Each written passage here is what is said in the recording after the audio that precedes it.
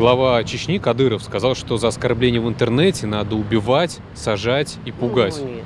Ну, конечно, нет. Это его личная проблема. Ну, по-моему, это неправильно так говорить. У каждого человека свое мнение. Есть слова, которые, ну, реально, знаешь, оскорбление чести, достоинства, оскорбление семьи, то есть тому подобное. Они очень сильно задевают.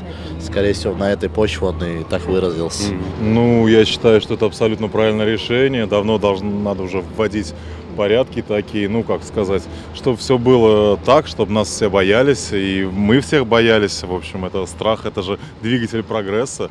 Вот, и вообще, да, не забудь еще смертную казнь вводить. Может быть, даже не сажал, потому что дураков-то много. А вот воспитывать их как-то я бы с удовольствием повоспитывал. Я в том плане рублем или какими-то принудительными работами или еще что. Да даже, может быть, знаете, публиковать фотографии хамов. Человек вообще выявить сложно.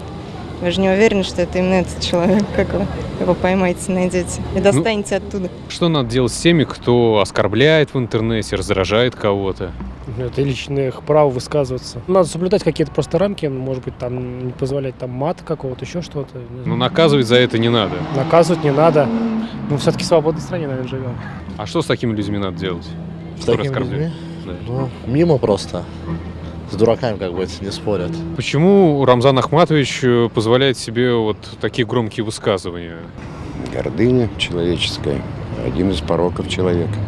Видимо, его менталитет горячий, молодой. Как вы вот относитесь к тому, что вообще он такой заявил, что кого-то надо убивать, сажать? Это справедливо? Вообще агрессия. Зачем нужна агрессия?